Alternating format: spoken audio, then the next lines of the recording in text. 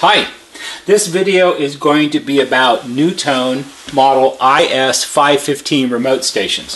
So these are both IS515s and the IS515s they were used with the NuTone IM5006 radio intercom selective call system and they were also used with the later IM5000 intercom only selective call systems. Simply put, there are two versions of IS 515s. They both carry the IS 515 model number. There was no ISA 515. They're all just 515s. All the information in this video also applies to the IS 518s. Those are the larger speakers with the 8 inch diameter speaker cones instead of the 5 inch cones.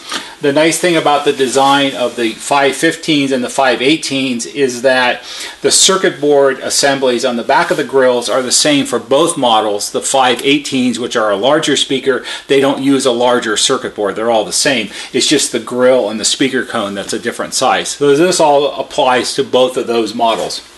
So the way we look at 515s is there are early ones and there are late ones. And what I'm going to show you in this video is how to make the, the determination of which you have and then also how to completely disassemble the speaker because we're going to be re-whitening this is in a different video. The speaker grill this one belongs to a customer and we're going to re-whiten the grill. And to do that we have to take all the guts off and then put it all back on later on. So I thought I'd show you how to do that. So let's flip these over. This is the early one and this one is the late one. And you would think it would be the other way around because this one's so discolored, but that's not how it works. So if we flip them around, you'll see that they're very similar on the back. In fact, let me prop it up here for you and it'll be easier to see. So what we have here is the subtle differences are the basic layout is the same on both. We have two circuit boards on each one, the, the main board and a switchboard underneath and the main board and a switchboard underneath. The early ones, they have this rectangular shaped microcontroller on the board here, whereas the later ones have a square microcontroller here. The square one is also thicker, but if you don't have one to compare, that might be hard for you to notice. You have a 5 inch speaker cone on the back of each one. These speaker cones are different than the speaker cones that are used in other NuTone 5-inch inside remote stations like from the same period, IS335s and IS325s and IS445s. Same size speaker cone, similar in ratings, but they are technically different part numbers and they are different cones. One of the other things that the telltale sign of a later model IS515 is on all of the late later ones, they have here on the speaker leads, the speaker leads are these red and black wires right here, they have this ferrite bead that the speaker wire is wrapped through and then the bead is wire tied onto the speaker frame. And that's how that's the easiest way to tell whether you have a late one or an early one. They are also slightly different in how they're assembled and I'm going to show you that. As for using them, they're identical.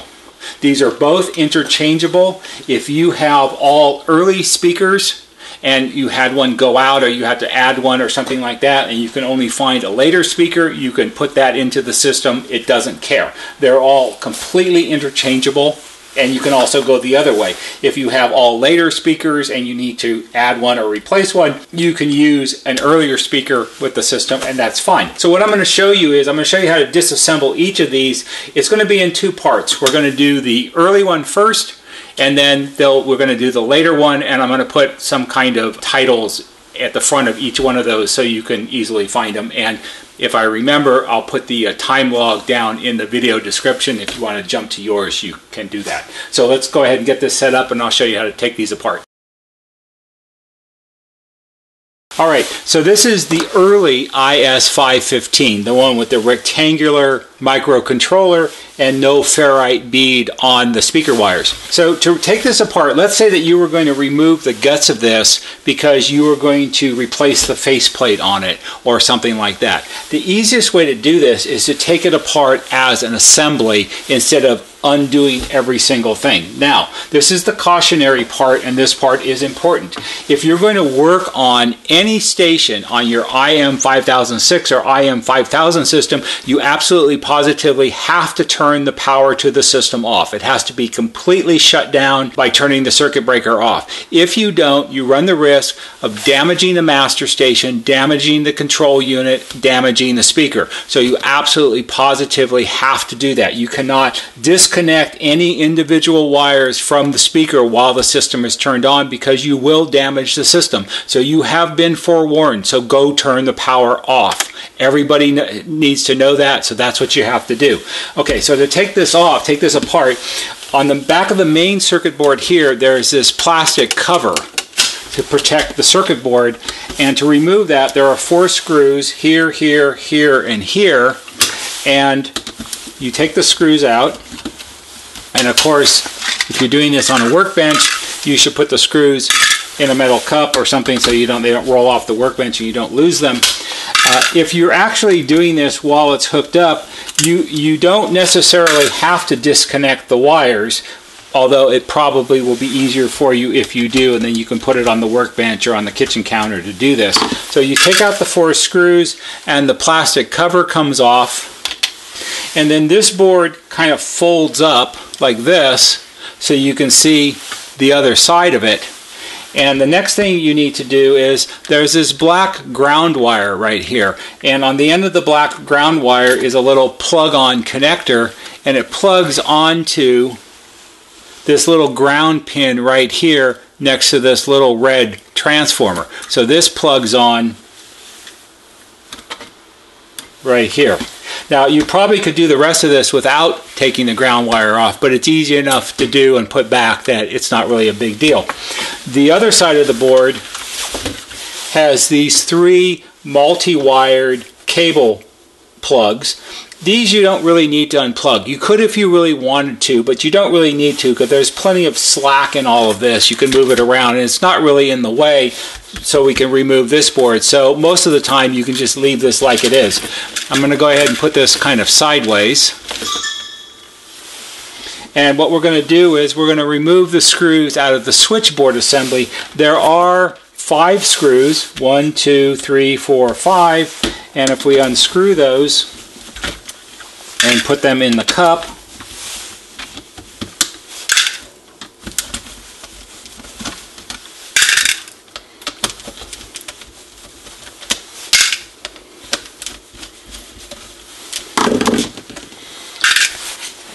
That loosens up so you can remove the switchboard and it just simply lifts out of the speaker grill.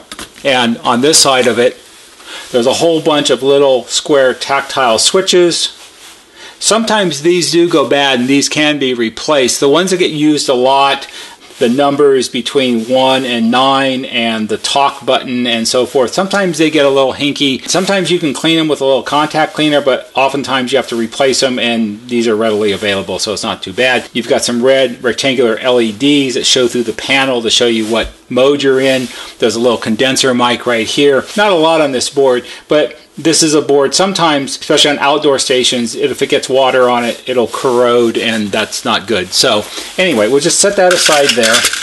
You also have in front of that board you have this piece of copper foil shielding and that's actually what the ground wire comes off of. And this is to help block out electrical noise that's generated by the circuit boards and it's important to have this in place. We'll just set that aside and now we're going to take our speaker cone off and it's just held on with four screws. You notice I didn't even disconnect the wires from the speaker cones and I didn't unplug the little plug down here because you don't really need to. You can actually take this all apart and then this just lifts out. And what we have left is our plastic grill with nothing on the back. So that's all that's all there is to taking it apart. Now let me show you how to put it back together. So let's say you're doing this because you're getting rid of your hugely yellowed grill like this and you're opting for a replacement white grill to restore the appearance of it. So basically we're just going to do everything in back in the backwards order. We have a blank speaker grill or station grill. We're going to put our speaker cone on the back of it and we're going to put down hold it down with the four screws. Now, when you put the four screws in to hold the speaker down, I always do them diagonally and you don't need to wrench on the, on the screws. They just need to be hand tight. I don't recommend you do this with a cordless screwdriver or cordless drill because if you wrench on them too much, you can break the plastic standoffs off the back of the grill. That's the part the screw threads into and then if you break that off, the speaker won't stay down tight and that's not good. So we put that in. We're going to put our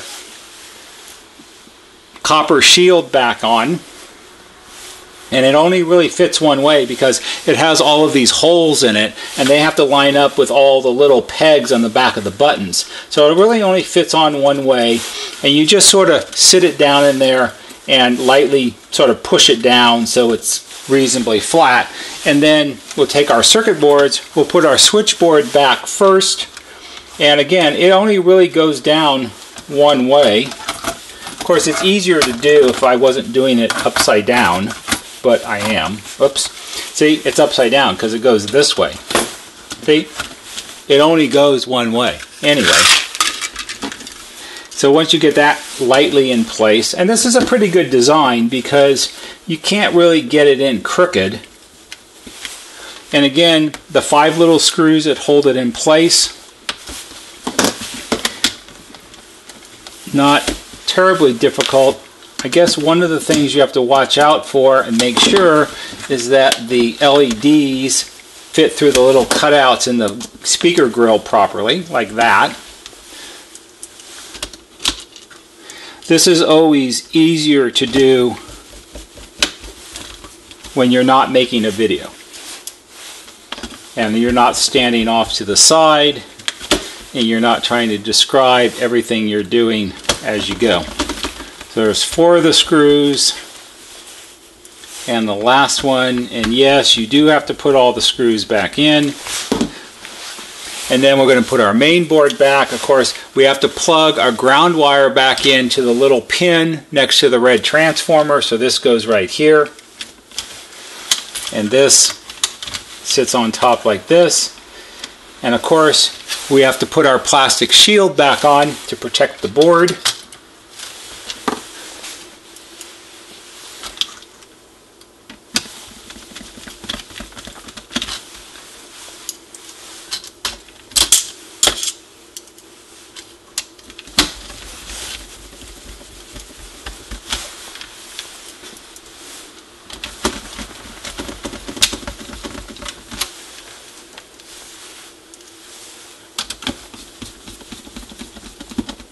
like that. And that's all there is to it. It's that simple. You should check and make sure that each button presses correctly. You can hear them go click. Make sure nothing hangs up. And now it's time to reinstall it and connect it back up to your system. So on the plastic shield around the six screws, one, two, three, four, five, six, that the intercom wires get attached to, it's all color coded. You have black, black, white, orange, orange, white, red, red, white. It is absolutely necessary that you get all the right colors underneath all the right screws. Now, if you've taken yours off and for some reason your system wasn't wired with NuTone wire and the colors of your wires don't match the colors here, what you need to do is you need to take a picture of it before you disconnect the wires or make a drawing with a diagram to show which color go to, goes to which screw. And if you forgot to do all of that, then you can go take another speaker off the wall in another room, check out what the color coding was, how it was done on that one, and then duplicate it on this one. And that's all there is to it. All right, this is the disassembly of a later model IS515 NuTone inside remote intercom station. And you can tell it's the later model one because it has the square microcontroller here and it has the ferrite bead here that the speaker leads go through and it's wire tied onto the speaker frame. To disassemble this, we'll put it this way, there are four screws that hold the main circuit board to the back of the grill and over the back of the main board is this clear plastic cover so to remove that you have to remove the four screws. You should put the screws in some kind of container so you don't lose them because there are no extra.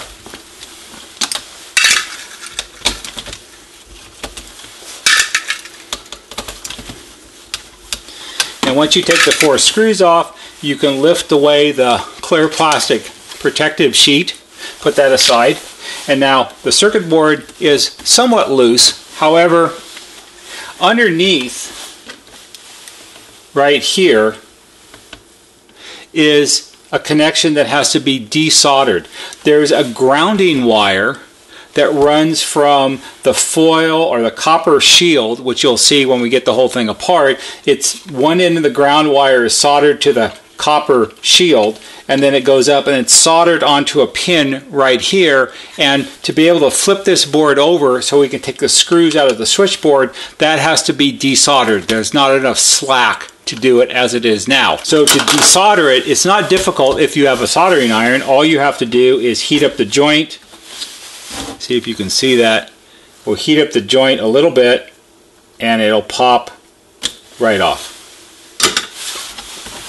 And now you can fold the board open and you can gain access to the back of the switchboard here.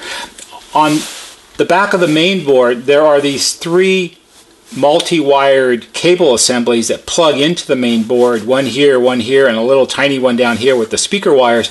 I don't normally unplug these because you don't really need to. There's plenty of play once you get the ground wire unsoldered, so we'll just let that flop over like that. We'll take out the five screws that hold the switchboard assembly in place. Oops, I missed the cup. See, that's how screws go missing. All right, so we'll do that. And now we need to take the speaker, so the switchboard assembly is loose, but we need to take the speaker cone off the back of the grill also because the ferrite bead is wire tied to the speaker frame, so it's all kind of tied together. And I don't really want to cut the wire tie because I don't need to. I'm going to have to take the speaker off anyway. So we'll just take all of this apart as one piece. And that's a perfectly good way to do this.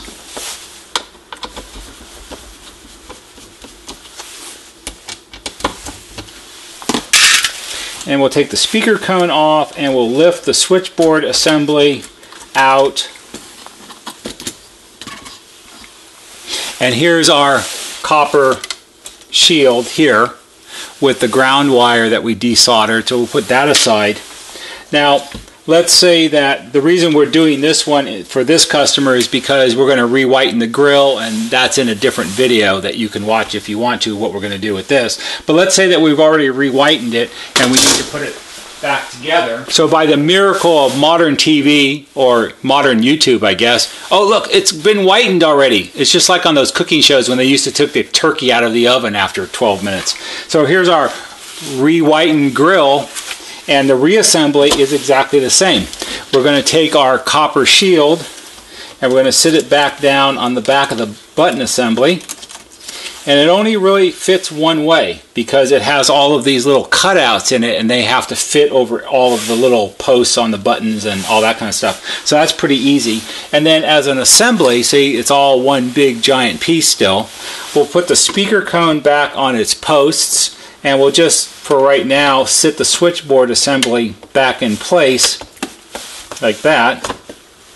And you can see how it all just fits together pretty easily. And then we'll take our screws. I like to do the switchboard screw first just to hold it down. I'll put one. And then we'll put our four speaker screws. Now when you put the speaker screws on I always do them diagonally and you just need to snug them down. They just need to be hand tight. I don't recommend you do this with a cordless drill or a cordless screwdriver or anything like that because if you over tighten them you run the risk of breaking off the little plastic standoff that the screw fits into. The, the standoff is part of the grill, and that's what the screw threads into. And if you over tighten the screw, you can snap off the standoff, and then that end of the speaker won't stay tight. So you don't want to do that. So just do it by hand. Now we'll put our rest of the screws back in our switchboard.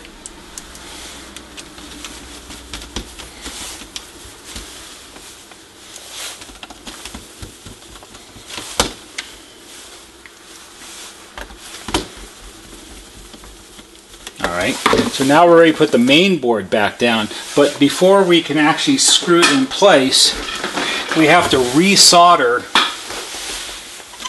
the ground wire back to the ground pin. The ground pin is where you unsoldered it from. It sits right next to this little red transformer right here. And yes, you really should resolder it. So it's not terribly difficult to do. And they give you enough slack. All you really have to do is hold it the wire end of the wire and it's already got a big blob of solder on it and that will be fine so you hold it up next to the post and you heat it up with your soldering iron for a couple seconds till the solder flows and then hold it in place until it sets up and that's really all there is to it now you can put the board back in place don't forget to put your plastic cover back on and then put the four screws back in. Like that.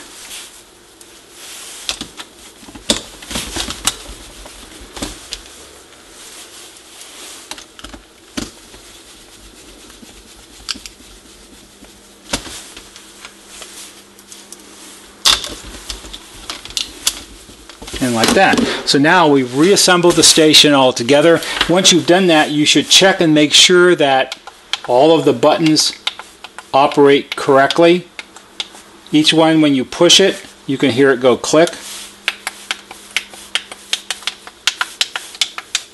And none of them are hanging up, so that's good. Now it's time to reconnect it to your system. So around on the six screws where the six intercom wires get attached, one, two, three, four, five, six, on the clear plastic cover it's labeled as to which color wire goes where. You have black, black, white, orange, orange, white, red, red white, it is absolutely necessary that you get all the right colors on all the right screws. If you get them backwards or mixed up, you can damage your system or at the very minimal, it won't work properly. If for some reason your system was not wired with NuTone wire, which has color coding that matches the labeling, what you need to do is before you disconnect the wires, you need to either take a picture of this so you know what order the wires go in, or you can make a drawing and a diagram that shows which color of wire for your system goes on which screw. And if you forgot to do all of that before you disconnected it, you can always go to another room and remove a station from the wall and see how it was wired, which colors go on which screw, and then copy it for this station. And there you have it. That's how you disassemble an early NuTone IS515 inside station or a later IS515 inside station. These steps are exactly the same if you have the larger 518 early or 518 late. The only difference will be those have a larger diameter speaker cone, but it's still held on with four screws, so it's not really that big of a deal. I hope you found this interesting and perhaps helpful. If you did, please give it a big thumbs up on YouTube because that always helps. There'll be a banner right here that shows you how to subscribe. Go to our YouTube homepage, click on the bell or on the wheel, put in your email address, and every time we post a new video, you'll get a notification and you can watch it. That's all for today. See you on the next video.